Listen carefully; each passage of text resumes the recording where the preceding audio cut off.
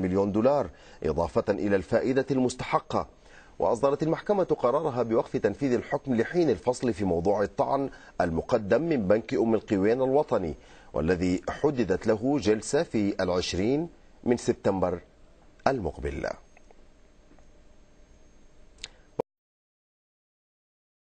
عقدا مدته ثلاث سنوات مع شركة سيسكو. للحصول على دعم للشركة وتحسين الخدمات وذلك لدعم نمو البنية التحتية لشبكة الشركة الحالية والمستقبلية.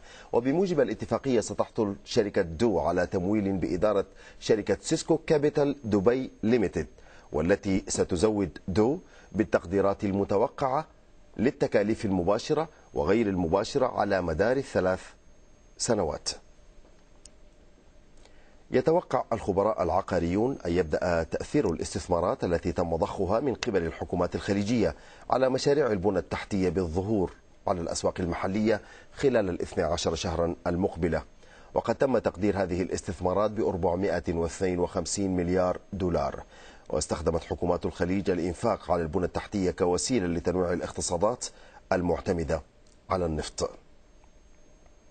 أتابع هذا الموضوع معي هنا في الأستوديو المهندس عقبة عبد الكريم مدير إدارة المشاريع في سيلكت جروب وعضو اللجنة الفنية الاستشارية العليا بجمعية المقاولين في الإمارات. مهندس عقبة مساء الخير. مساء النور أستاذ طيب وأهلا ومرحبا بك. إذا الدول الخليجية تخصص مليارات حوالي 450 مليار دولار للبنى التحتية. التقرير يقول بأن 80 في المئة من هذه الأموال تتركز في السعودية في الإمارات في قطر. على وجه التحديد. حدثني كيف ينعكس ذلك على الإنعاش الاقتصادي والعقاري على وجه الخصوص؟ مما لا شك فيه أن الإنفاق الحكومي هو واحد من أهم العوامل لإنعاش الاقتصاد وخاصة إذا كان يتركز هذا الإنفاق في مجال البنى التحتية. البنى التحتية إنشاء مثل هذه المشاريع كطرق جسور مطارات وموانئ يتطلب شركات كبرى للقدوم وتنفيذ هذه المشاريع. الشركات الكبرى تتطلب عمالة ماهرة وإدارة وغير ذلك للانتقال إلى دول الخليج لتنفيذ هذه المشاريع. هذا يفتح الآفاق أمام زيادة الوظائف والتي هي عامل مهم في إنعاش الاقتصاد.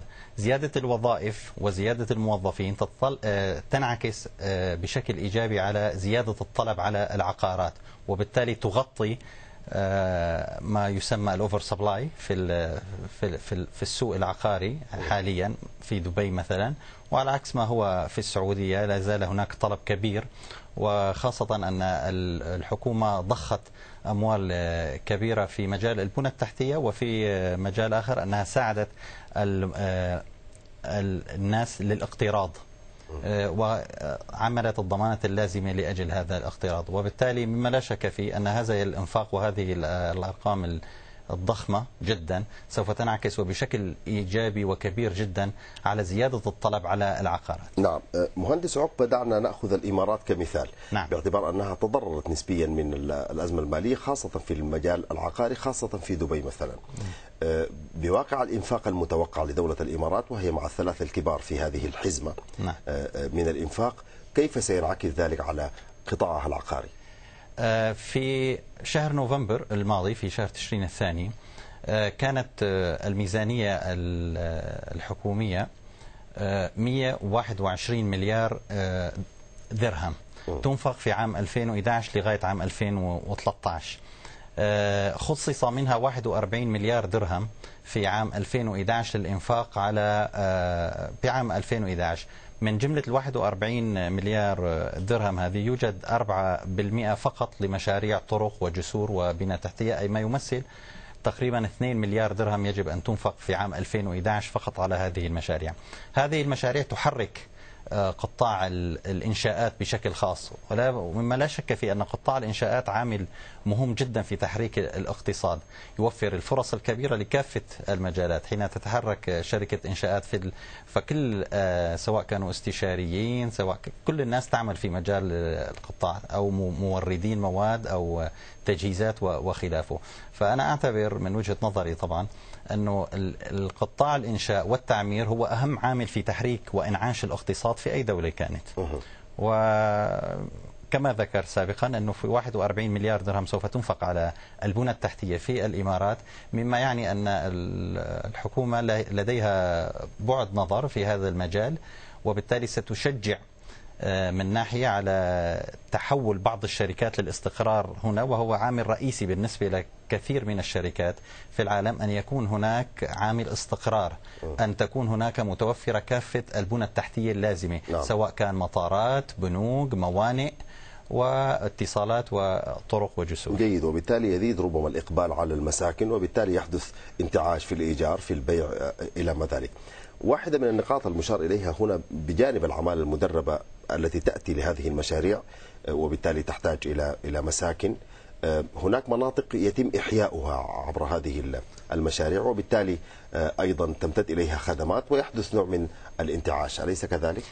دعني أعلق على العمالة التي تأتي التي تأتي تحتاج إلى مساكن ليس فقط المساكن سوف يتم الطلب عليها. عندما تأتي شركات قطاع الإنشاءات يحتاج إلى كثير من الشركات للدعم سواء اللوجستي أو التوريدات إلى وما خلافه. وبالتالي سوف يزداد الطلب على المساكن والمكاتب أيضا لأن هناك شركات يجب أن تأتي وتؤسس نفسها وبالتالي تحتاج إلى مكاتب.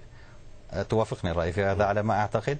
وبالتالي سوف يزداد الطلب على المكاتب وعلى العقارات بشكل قد يكون قليل بسبب الوفرة في المعروض حاليا في في السوق العقاري.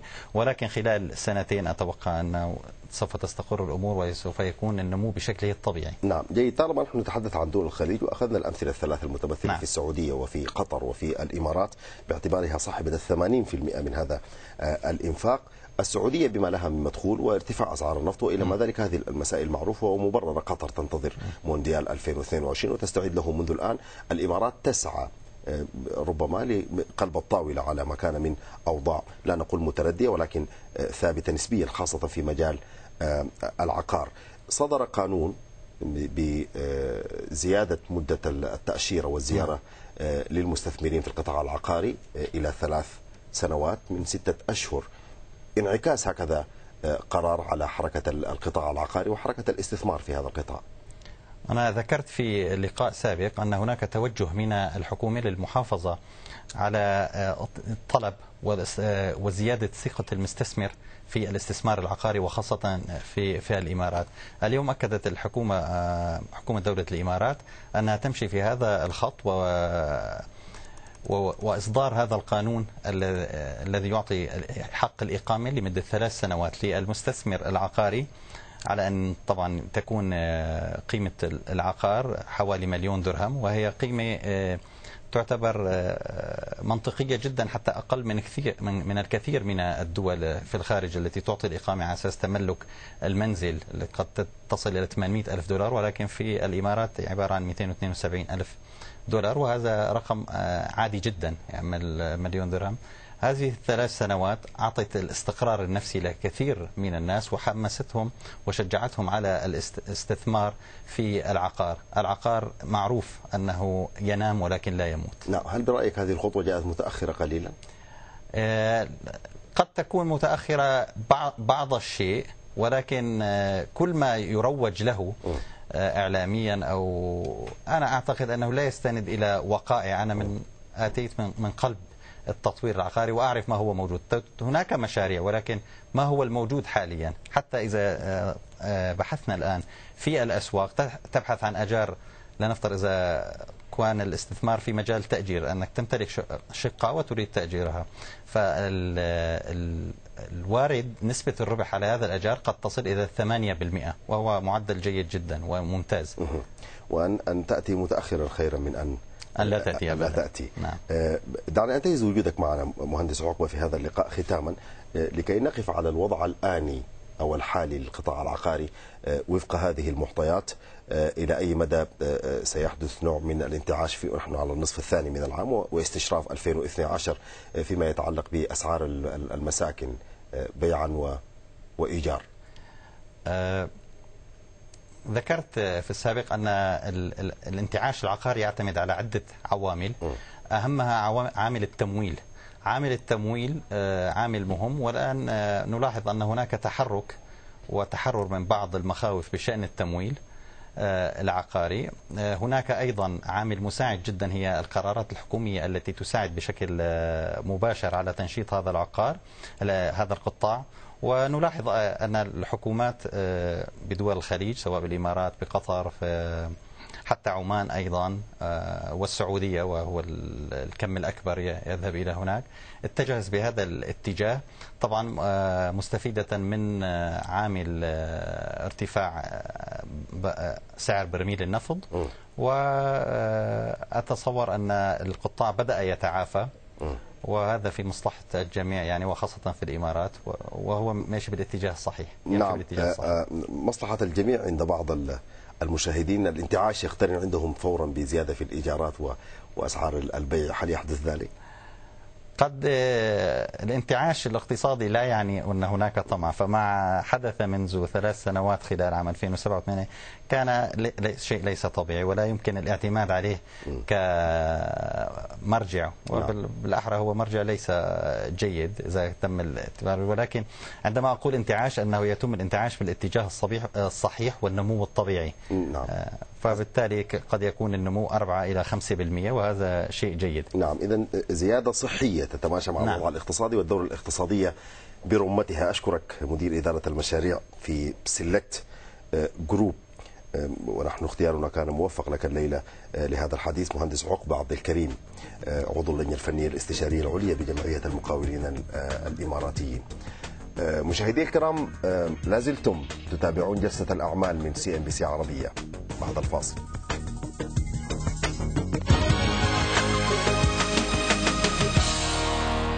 شريط المعلومات برعاية المجموعة المالية المشتقة الكويت.